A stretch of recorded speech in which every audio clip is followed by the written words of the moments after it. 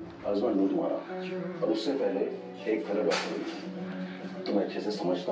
तो guys finally finally finally finally finally finally finally निकल चुका है मेरे को और अपने नए नेक्स्ट रोड ट्रिप पर तो हमने क्रॉस कर दिया है, मूर्थल जस्ट अभी पूरे सबने लाइटें वाइटें सब बंद कर दिया मूर्थल वालों ने और देखो भाई साहब पूरा का पूरा जो है, सारा का सारा ना फ़र्स्ट क्लास एकदम फुल पैक जा रहा है, मामला पूरा फुल पैक टोटली और यहाँ पे हम रुके हैं डीजल डलवाने टंकी करवाएँगे फुल अपनी हो जाएगी। इस बार मेरी पूरी फैमिली के साथ अनप्लान ट्रिप बना और हमने कहा भाई साहब सारे टीटी ऐसे फुल जा रहे हैं ना, इसका मैं बता सकता सब के सब एकदम टीटी मस्त नाटन एकदम फुल जा रहे हैं। और अब चलते हैं आगे एक और नए रोड ट्रिप पे।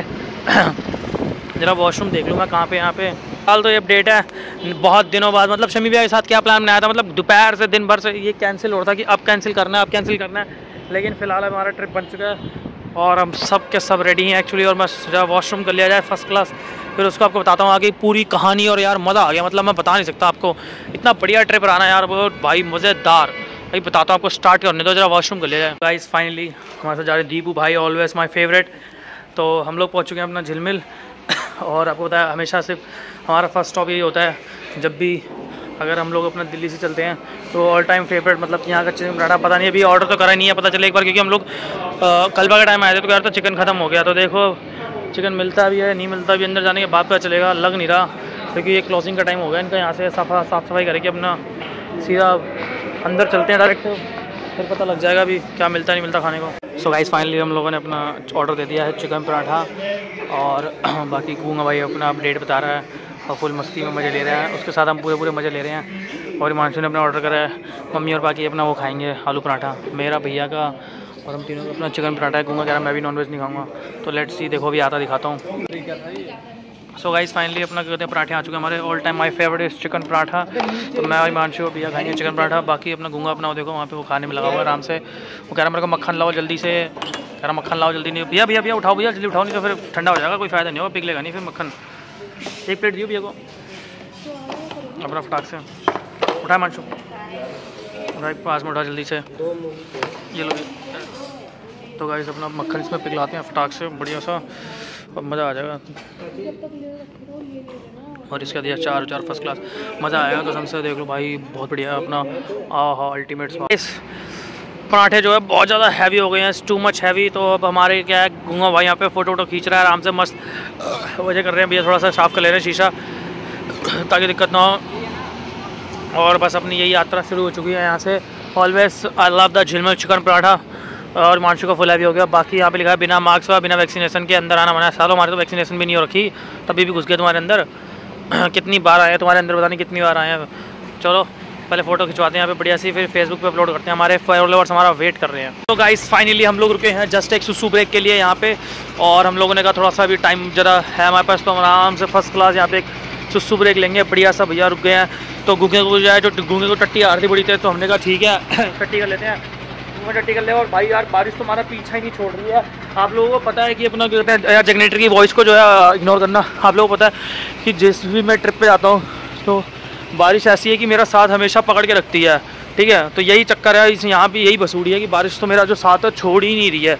तो देखो कहाँ तक मिलती है। हम सोचें अब बंद हो जाए, भाई साहब करनाल में खाना खा के जैसे उठे वैसी बारिश शुरू हो गई।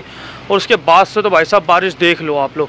ओए होए, क्या व्यू है इधर का यार, मज़ा आ गया। अल्टीमेट यार। अल्टीमेट बहुत ही बेहतरीन पारी है। और आप देख सकते हैं, बहुत ही बेहतरीन पारी है, मज़ेदार व्यू है। इसी व्यू को देखने के लिए हम लोग कितनी दूर तक आए थे? तो बाकी यही अपडेट है।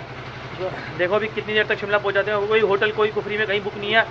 बहुत मज़ेदार है। हिमांशो, किधर थे, किधर? बहुत ही बढ़िया व्यू है, चलो। इसकी स्टोरी बनाओ फॉलो कर लो मेरे को जल्दी से इंस्टा पे यार। दोबारा से पता नहीं देखने को मिलेगा, नहीं मिलेगा। बहुत बढ़िया व्यू है। पूरा सोलन दिख रहा है यहाँ से। इस देखो, यहाँ पे बर्फ़ ही बर्फ़ पड़ चुकी है और देखो, सारी जगह पूरा स्लश है और ये मिट्टी है ब्लैक आइज़ है। क्योंकि ब्लैक आइज़ उतनी हो नहीं पा रही है, क्योंकि अपना साथ के साथ वो भी हो रहा ना, जैसे वो ब्लैक आइज़ जमी हुई है, वो बहुत पहले की बर्फ़ है, ये ब्लैक आइस है, पूरी की पूरी जितनी भी है। लेकिन रोड पूरा क्लीन हो गया तो रोड पे ज़्यादा उसमें फिसलन नहीं है, लेकिन लोगों पे रात की जो फ्रेश स्नो पड़ी है, वो है।